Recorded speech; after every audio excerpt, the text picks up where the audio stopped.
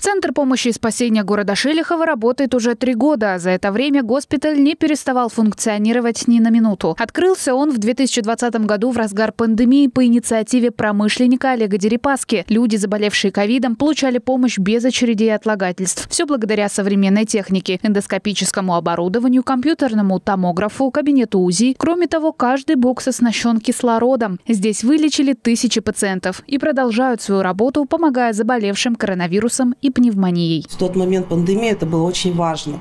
Каждый э, пациент имел право на кислородную точку. Для лечения, конечно, для доктора это очень важно, когда мы работаем в таких условиях, работа э, слаживается намного лучше. У нас не было вот этого потери драгоценного времени для нас. Все было ежеминутно, тут же, как только вот как требуется доктору для решения вот именно дальнейшей тактики лечения. После спада заболеваемости центр продолжил работу. Здесь развернули койки терапевтического отделения. Обращаются не только жители Шелиховского, Иркутского районов и столицы региона. Врачи говорят, бывали случаи, когда попадали в отделение путешественники или дальнобойщики, которых болезнь настигала в дороге. Чаще всего попадают в госпиталь люди старше 50 лет из-за ослабленного иммунитета. За три года здесь помогли 9 тысячам пациентов. По словам докторов, это в три раза больше, чем в доковидные времена. Сейчас врачи уже готовы к новой волне коронавируса. Развернуты 120 коек. Если сравнивать э, доковидную, скажем так, эпоху, то есть у нас в городе а, было развернуто терапевтическое отделение всего на 40 коек.